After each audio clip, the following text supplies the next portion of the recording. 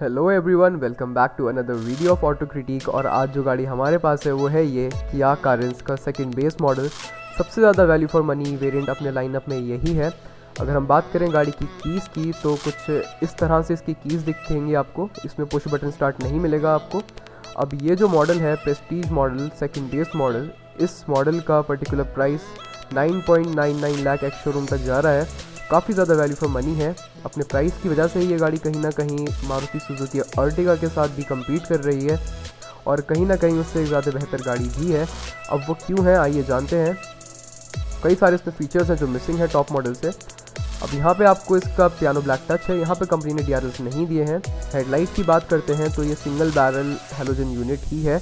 Halogen ही आपको इसके यहाँ पे टर्न इंडिकेटर्स मिलेंगे। यहाँ पे नीचे आपको सिल्वर फिनिश है। हालाँकि टॉप मॉडल में आपको यहाँ पे क्रोम मिलेगा। गाड़ी में आगे आपको चार पार्किंग सेंसर्स हैं which is which are standard यहाँ पे आपको इसका पियानो ब्लैक टच है। अब जो सारे आपको डिफरेंसेस नोटिस होंगे मेजर वो आपको साइड प्रोफ़ाइल में होंगे गाड़ी के, क्योंकि इस मॉडल में आपको यहाँ पे क्रोम डोर हैंडल्स मिसिंग मिलेंगे। टायर्स की बात करते हैं, ये स्टील व्हील है विद अ व्हील कैप और इसका जो साइज़ है वो two zero five sixty five R sixteen का है। अच्छी बात यह है कि टॉप मॉडल में जो आपको लॉय मिलेगा उसका भी सेम साइज़ है। गाड़ी के यहाँ पे आपको क्लैडिंग मिलेगी और ये गाड़ी में आगे से लेके पीछे तक जाती है तो गाड़ी इसकी वजह काफ़ी अच्छी दिखती है। क्वार्टर ग्लास की गार्निश की बात करते हैं, यहाँ पर आपको ब्लैक मिलेगी। टॉप मॉडल में यहाँ पर आपको क्रोम मिलता है। बट ये भी ठीक दिख रहा है क्रोम डोर हैंडल्स इस मॉडल में नहीं है। पीछे से बात करते हैं तो रियर लुक इस मॉडल की कुछ ऐसी दिखती है शार्क फिन एंटीना आपको मिलेगा, रूफ रेल्स आपको ऊपर मिलती हैं इस मॉडल में भी। अब जो डिफरेंस पीछे है, वो ये है कि यहाँ पे आपको रियर वाइपर नहीं मिलेगा रियर डिफॉगर नहीं है इस गाड़ी में। नीचे की बात करते हैं, यहाँ पे आपको क्रोम मिलता है टॉप मॉडल में, यहाँ पे सिल्वर की फिनिश आगे की तरह। पीछे भी कंपनी ने यहाँ पे चार पार्किंग सेंसर्स दिए हैं। कंपनी चाहती तो वैसे दो भी दे सकती थी कॉस्ट कटिंग के लिए बट कंपनी नहीं करा। यहाँ पे आपको इसका पियानो ब्लैक टच है टॉप मॉडल की तरह which is nice rear camera की प्लेसिंग आपको यहाँ पे मिलती है। इसकी क्वालिटी की बात हम गाड़ी के अंदर जाके करेंगे। यहाँ पे आपको T G D I petrol engine की बैजिंग है बूट खोल के देखते हैं आपको क्या डिफरेंसेस मिलेंगे। कुछ इतना यहाँ पे आपको स्पेस मिलेगा। टॉप मॉडल में आपको यहाँ पे स्पीकर मिलता है। बट यहाँ पे भी इस मॉडल में आपको बूट लैम्प मिलेगा तो रात में आपकी सही हेल्प हो जाएगी। यहाँ पे आपको इसकी नीचे टूल किट है। अब जो इसका स्पेयर व्हील है कंपनी ने वो गाड़ी में नीचे प्लेस किया है। और उसका भी साइज़ जो है वो सेम है। बात करते हैं गाड़ी के साइड लुक की तो इस सेकंड बेस मॉडल का आपको कुछ इस तरह से लुक मिलेगा। गाड़ी काफ़ी अच्छी दिख रही है। इनफैक्ट सेकंड बेस मॉडल ये है, ये लग भी नहीं रहा है।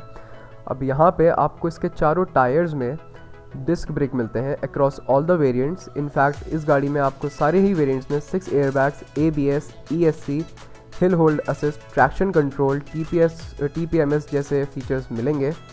चलते हैं गाड़ी के ड्राइवर साइड की तरफ़। तो यहाँ पे आपको क्रोम डोर हैंडल नहीं है बॉडी कलर्ड ही है ये, इसका डोर हैंडल अब इस गाड़ी में आपको पुश बटन स्टार्ट नहीं मिलेगा तो आपको मैनुअली की लगानी पड़ेगी।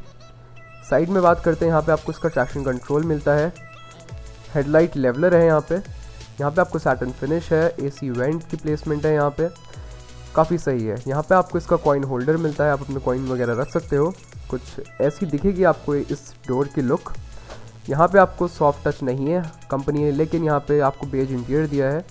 सारे इसके पावर विंडो के जो बटन्स हैं, वो बैकलेट हैं। ओ आर वी इसके फोल्डेबल नहीं है, सिर्फ़ एडजस्टेबल हैं। यहाँ पे आपको इसके सैटन में फिनिश डोर हैंडल्स मिलते हैं। सैटन की फिनिश यहाँ पे इसको डोर ट्रिम्स पे है। सीट एडजस्टमेंट की बात करते हैं तो आप इसको अपने हीट हाइट के अकॉर्डिंग एडजस्ट कर सकते हो। चलते हैं गाड़ी के अंदर। तो कुछ इस तरह दिखेगा आपको इसका कम्प्लीटली डिजिटल इंस्ट्रूमेंट क्लस्टर ये सिस्टम चेक करता है, गाड़ी ऑन होते ही। लो फ्यूल की वार्निंग दिखा रहा है अभी। यहाँ पे आपको इसके ट्विटर की प्लेसमेंट मिलेगी। यहाँ पे शायद कंपनी ने इसमें स्पीकर नहीं दिया है तो आपको इसमें शायद आफ्टर मार्केट लगवाना पड़ेगा। और यहाँ पे आपको चेक सा डिज़ाइन है। टॉप मॉडल में यहाँ पे आपको पियानो ब्लैक मिल जाता है बट ये भी सही दिख रहा है। बात करते हैं इस इन्फोटेनमेंट सिस्टम की। ये वही सोनेट वाली यूनिट है, इसमें भी आपको Apple CarPlay Android Auto main सारे बेसिक फीचर्स सब मिल देंगे आपको इसमें। उस रिगार्ड में, इस सिस्टम में आपको कोई कमी नहीं है, हालाँकि थोड़ा छोटा है। यहाँ पे आपको सनब्लाइंड पे टिकट होल्डर है, ना ग्लास आपको ना मिरर मिलेगा, ना लाइट है। इधर की तरफ़ आपको मिरर मिल जाएगा बट लाइट यहाँ भी नहीं है सन ग्लास होल्डर है ऊपर। रीडिंग लाइट के कंट्रोल्स हैं। रीडिंग लाइट जो है, इसकी हेलोजन ही है। इतने प्राइस में आपको वही एक्सपेक्टेशन होनी चाहिए। एलईडी तो नहीं देगी कंपनी खैर। और टॉप मॉडल की अगर आप बात करें तो यहाँ पे आपको सनरूफ मिलती है। यहाँ पे आपको वो नहीं मिलेगी। यहाँ पे ये फीचर मिस आउट कर जाएगी। एसी की बात करते हैं, ये ऑटोमेटिक एसी नहीं है। क्लाइमेट्रॉनिक ये आपको मैनुअली एडजस्ट करना पड़ेगा। बट इतने प्राइस पॉइंट में ये भी ठीक दिख रहा है। काफ़ी वेल लेड आउट है। स्टेयरिंग कंट्रोल्स की बात करते हैं। इधर इसके सारे कंट्रोल्स इस इन्फोटेनमेंट स्क्रीन को कंट्रोल करने के लिए हैं। और इधर के कंट्रोल्स की अगर हम बात करें तो इसमें आपको क्रूज़ कंट्रोल नहीं मिलेगा। तो ये सारे बटन्स आपके इस डिजिटल इंस्ट्रूमेंट क्लस्टर को कंट्रोल करने के लिए हैं। ग्लव बॉक्स काफ़ी ज़्यादा डीप है। बैकलेट नहीं मिलेगा टॉप मॉडल में भी। तो यहाँ पे आपको इसके कप होल्डर है एक। आपकी ड्रिंक्स वगैरह आप ठंडी कर सकते हो यहाँ पे रख के। एसी वेंट्स की आप प्लेसमेंट काफ़ी अच्छे से करी है किया ने। काफ़ी वेल लेड आउट लग रहा है इंटीरियर और यहाँ पे हम बात करते हैं, यहाँ पे डमी बटन्स हैं। ये वैसे टॉप मॉडल में वेंटिलेशन के लिए हैं। ये वाला बटन आपके पार्किंग सेंसर ऑन करने के लिए है। ये हेल डिसेंट कंट्रोल का बटन है। और यहाँ पे आपको दो यूएसबी टाइप सी के चार्जिंग पोर्ट्स मिलेंगे। ये नॉर्मल आपका सिगरेट लाइटर है। नीचे आपको यहाँ पे कोई भी वायरलेस चार्जिंग का ऑप्शन नहीं है। आप यहीं से टाइप सी में लगा के अपना फ़ोन वगैरह चार्ज कर सकते हो। करते हैं गाड़ी के गियर बॉक्स की है, इसका सिक्स स्पीड का मैनुअल गियर बॉक्स और अगर मैं बात करूँ इसके रियर कैमरा की तो रियर कैमरा की क्वालिटी काफ़ी अच्छी है अडेप्टिव गाइडलाइंस आपको इसमें मिल जाती हैं। ओ आर यहाँ पे आपको ऑटोमेटिक नहीं मिलेगा, आपको मैनुअली एडजस्ट करना पड़ेगा रात में। और अब चलते हैं गाड़ी में पीछे की तरफ़। यहाँ पे आपको एक हैंडल भी मिलता है। गाड़ी की, अब चलते हैं हम रियर सीट्स पे।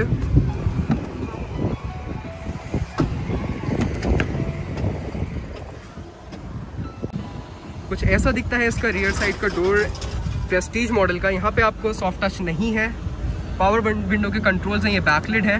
इसके डोर हैंडल्स हैं जो सिल्वर में फिनिश किए गए हैं। दो एक लीटर की बॉटल्स आराम से आ जाएगी। कुछ ऐसी दिखती है आपको यहाँ पे इसका इंटीरियर यहाँ पे आपको लेदर टच है, बीच में यहाँ पे फैब्रिक है एडजस्टेबल हेडरेस्ट है गाड़ी में।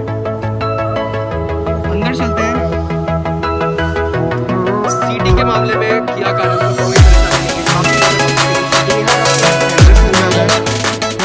पे आपकी दो आधा लीटर की बॉटल्स हाफ़ लीटर की बॉटल्स तो आराम से आ जाएँगी। ऊपर आपको दिए गए हैं यहाँ पे एसी वेंट्स यहाँ पे लाइट रीडिंग लाइट के कंट्रोल्स एक एसी वेंट वहाँ दिया है। ये इसका हैंडल है। यहाँ पे आपको हैंडल है। यहाँ पे कोट हुक भी दिया गया है।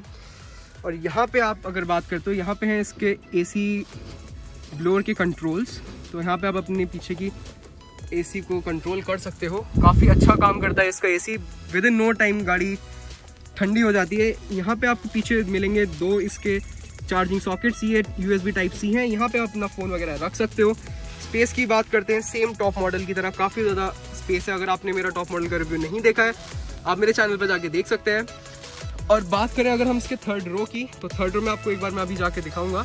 हालाँकि थर्ड रो में भी आपको इस मॉडल में आपको ऊपर दो ए सी वेंट्स मिलेंगे हेलोजन लाइट्स हैं। अब चलते हैं यार इसके थर्ड रो में। अगर आपको किया कारेंस के थर्ड रो स्पेस में जाना है तो यहाँ पे आपको बस एक बटन दबाना है एंड ये ऑटोमेटिकली पीछे टम्बल हो जाती है। काफ़ी डिसेंट साइज़ स्पेस है तो बच्चों के लिए काफ़ी अच्छा है। यहाँ पे आपको चार्जिंग पोर्ट है टाइप सी का। और सेम आपको वहाँ भी मिलेगा। ग्लास एरिया की बात करते हैं काफ़ी अच्छा ग्लास एरिया दिया है कंपनी ने यहाँ पे।